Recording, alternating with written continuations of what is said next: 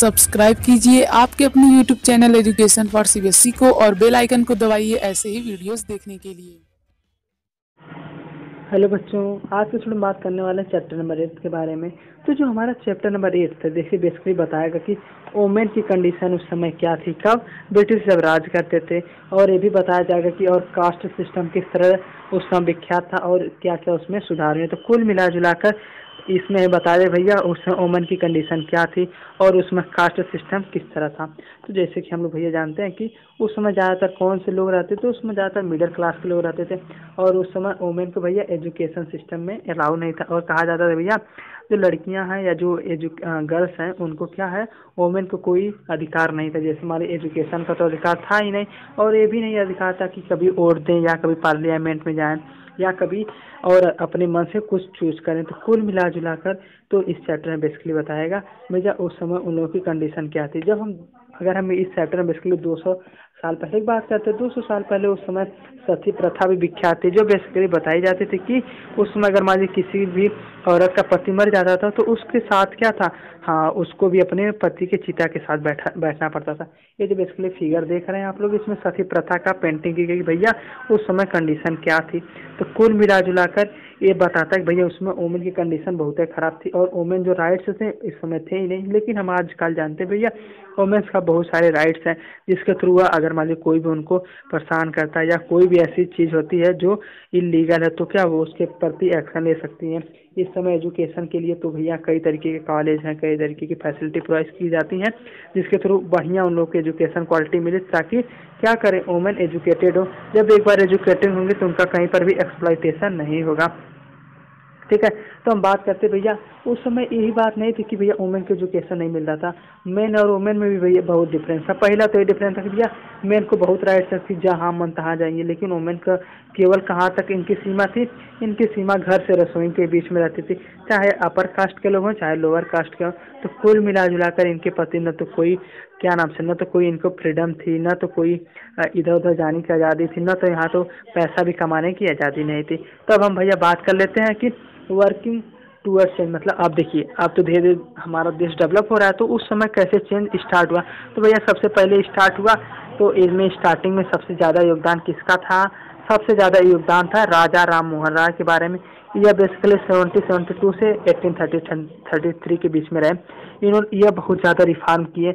इन्होंने भैया कई चीज़ें, जैसे सबसे पहले इनका एक काम था कि भैया, इन्होंने सती प्रथा को क्या किया? सती प्रथा को बंद करवा दिया।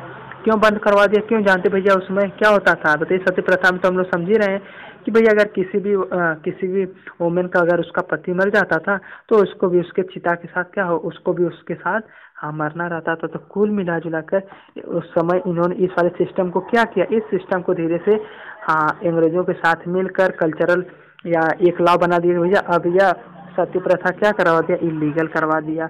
अब हम बात करते हैं चेंजिंग द लाइफ अब वीडियो मतलब अब बात करते भैया, जो वीडियो थे, यानी जिस भी औरत का क्या पति की डेथ हो गई थी तो उसकी इन्होंने कहा भैया कि अगर वह औरत चाहे तो अपने मन से किसी भी शादी कर सकती है।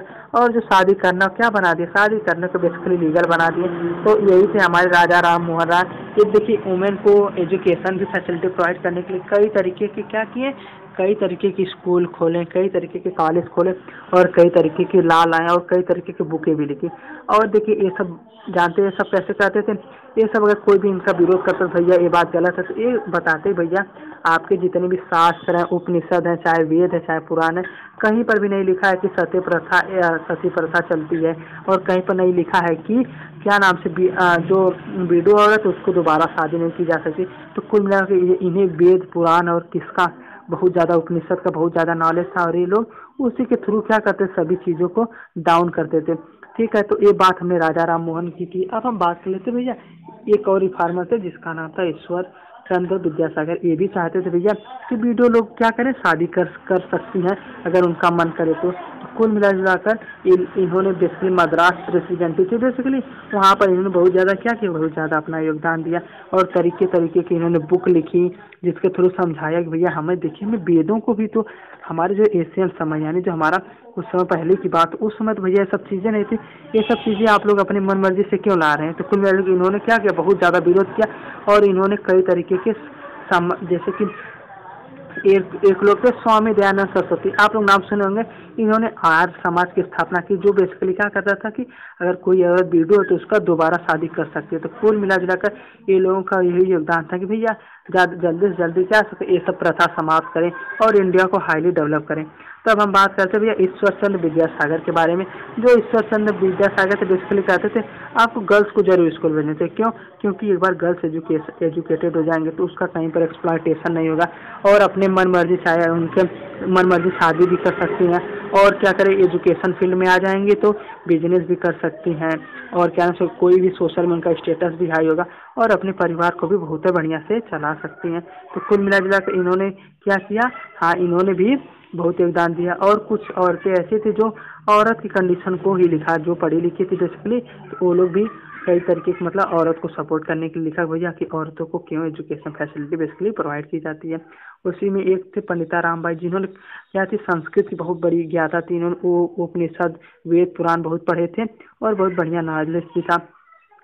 ये जो बेसिकली थे, ये बताते थे भैया, कोई भी सिस्टम अपर कास्ट का हो, बात करें वुमेन की, चाहे लोअर कास्ट दोनों की परिस्थिति क्या एक ही है, वहाँ पर ज़्यादातर मैन मतलब जो है, पुरुष ही हमेशा डोमिनेंट रहता है। ठीक है तो कुल मिला कर इन्होंने भी कई बुकें लिखी और बताया कि भैया, हमें ऐसा क्यों नहीं करना चाहिए, ठीक है?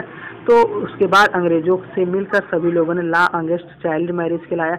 मतलब कि चाइल्ड मैरिज में इसलिए होता है कि छोटे बच्चे की शादी कर दी जाए। वो वो प्रथा क्या हुई? वो प्रथा भी धीरे धीरे बंद करवा दी गई। तो यही था चाइल्ड मैरिज के बारे में, ठीक है? समझ आया?